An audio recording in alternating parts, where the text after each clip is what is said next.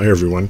Um, this is a drawing I did of the accumulators for the front shocks and looks like an electrical thing. I know that Corvette had electric shocks. I don't know if they used it on C7R.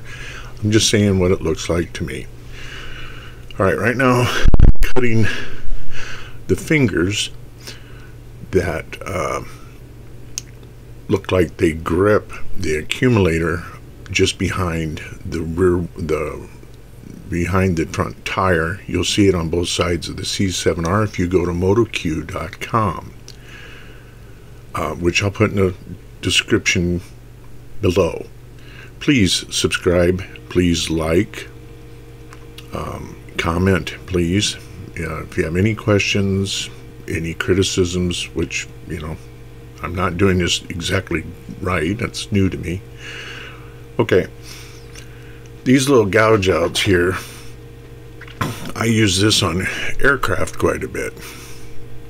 So you can use it on cars, use it on tanks, you can use it on ships. This is what I'm trying to show here is how you can scratch build or learn how to scratch build whatever you might desire.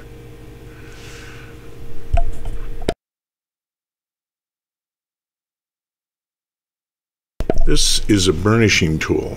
Notice the plastic starting to curl. I'm helping it a little bit with my fat fingers.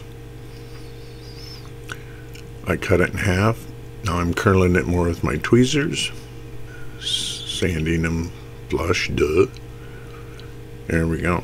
Rounding the edges.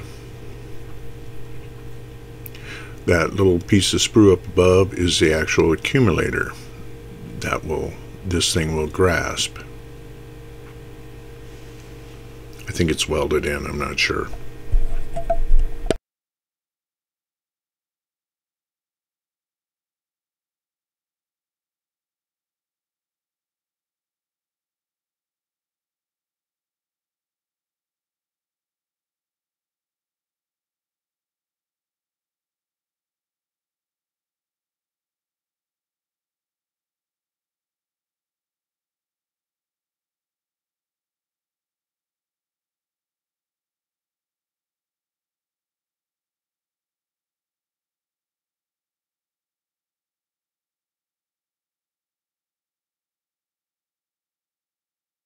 Right now I'm test fitting um, how it looks on there. Uh, notice they're not perfect because I'm not perfect. Putting some liquid glue down to set the forward part. It's at a wedge shaped. The top is filled, the bottom is not on the structure that holds the accumulator. Why have the added weight? To the car, not to the model.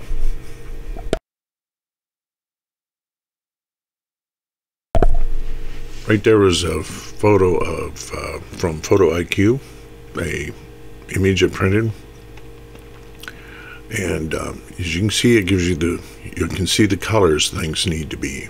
If you go there, if you have any doubt on colors, the only thing I can say is that um, the uh, drinking cooler came in many different colors. you know, they, they they only last so long, guys. You know, and I'm quite sure they changed them quite a bit, so you can get them in any color of the rainbow. They look like igloos to me, but I'm not sure.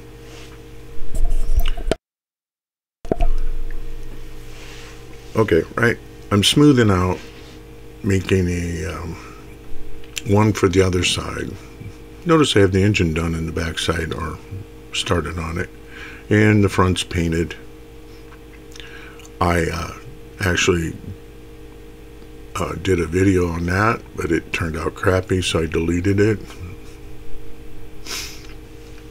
Shoving it in going to make um, the uh, pipe coming out of the top or part of the top of it that um, 90s over with a piece of metal or stainless or steel tubing that goes to the uh, shock absorber.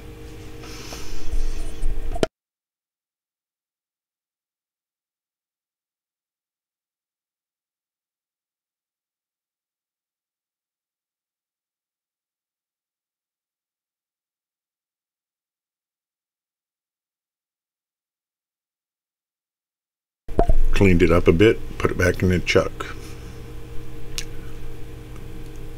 My uh, drill, I no longer have this one, or at least it's not running anymore. The chuck would let go.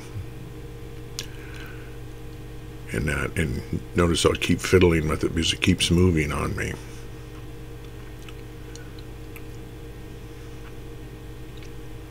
I don't make them like they used to.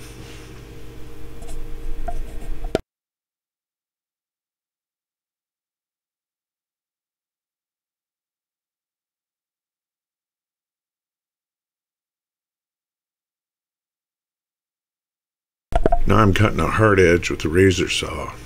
Now I'll go and that acts as a stop cut.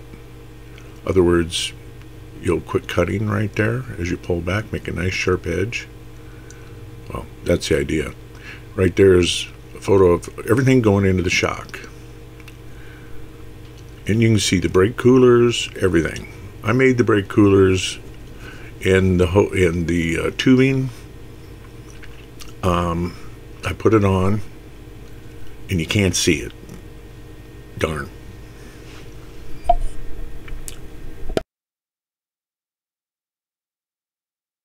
Right now I'm making the forward one just above the brake cooler. You can see it. It's got a uh, iodized blue and gold uh, fitting sticking out. That looked more like braided line or braided electrical. I'm not sure which, but that's what I'm making right now.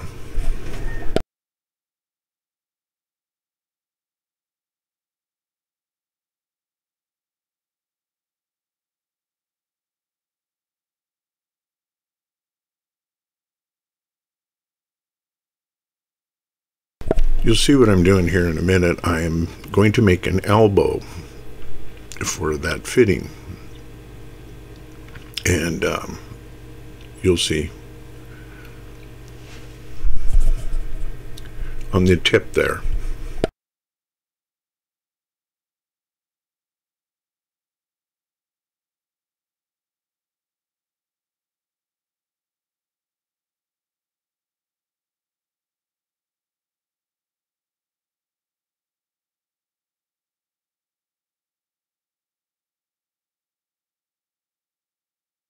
Putting a stop cut in, cutting it back, cleaning it up.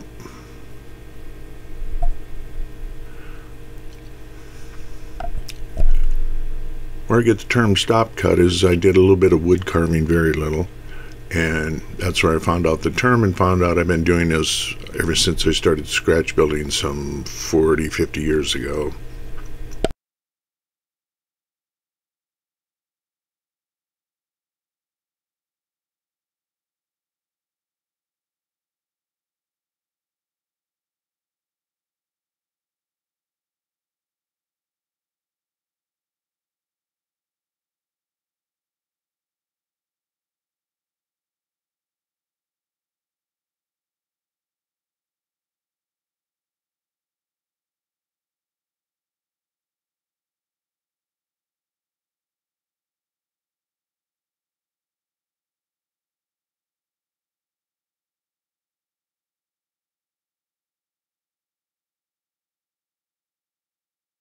I'm sorry, I've been saying Moto Q. It's Moto IQ. Hmm. Old age event.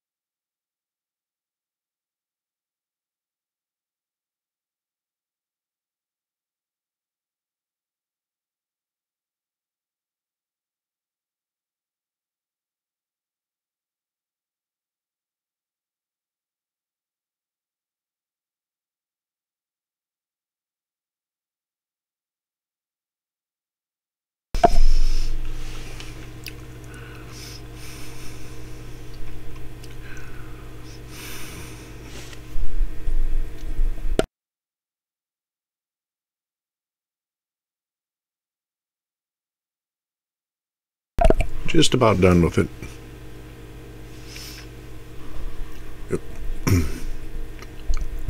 That's what it looks like with the fingers on. Needs a little bit of sanding. I'm putting the uh, brake line, which I got the sequence out of order is uh, that's actually a piece of sprue. If I can get my super glue to hold. Hey, if any of you guys know a good super glue, let me know, please. The stuff I got is junk.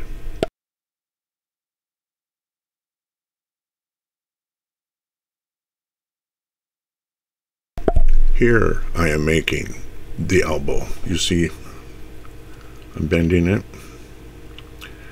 I don't know what's with it. You bend at 90 and by the time you're done it's like at a 80 degree, 85 degree angle. I gotta work on that.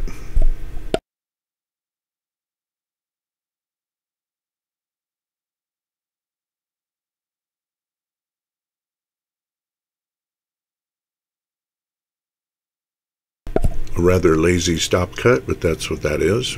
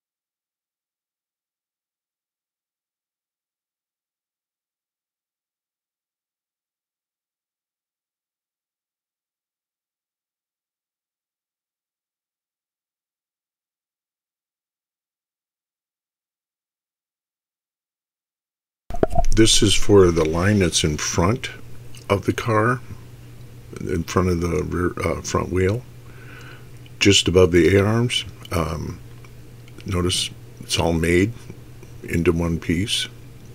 That's what I was doing there was making the flange for it.